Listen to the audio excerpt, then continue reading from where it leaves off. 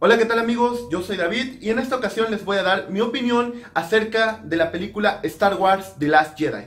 Comencemos. En primer lugar, les debo recordar que esta opinión tiene algunos spoilers de la película. Así que si no han visto Star Wars The Last Jedi, les recomiendo vayan a verla antes de ver este video.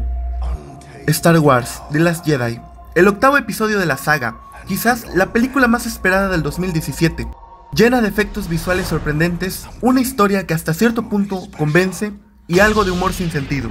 La película en general está bien, los efectos, ambientación, personajes, historia, se sienten muy Star Wars. Solo tiene algunos detalles que arruinan ese sentimiento, como ver a Poe Dameron haciendo otros chistes como al comienzo del episodio 7, o a Capitán Phasma encarnando a nuestro querido Boba Fett, Inclusive, el supremo líder Snoke termina como Darth Maul. Oh, eso sí es un gran spoiler. Algo que estuve esperando durante toda la película fue ver la muerte de Leia. Esperen, no me malentiendan, amo al personaje como a muchos otros. Pero sabiendo que la actriz Carrie Fisher falleció este año, pensaba que le iban a dar un final al personaje, algo épico, tal cual como la escena del puente, donde en verdad creí que iba a quedar su personaje. Las escenas de Luke y Rey no fueron del todo como esperaba. La actitud de Luke no fue tan de mi agrado, pero tenía sus razones para comportarse así.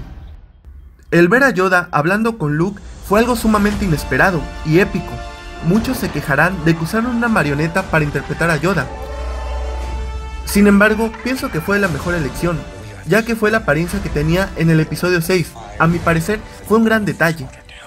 La escena del casino de Canto Bay fue más larga de lo que hubiera esperado, aunque puede ser que nos aporte más de lo que creemos, sobre todo por la escena final de la película.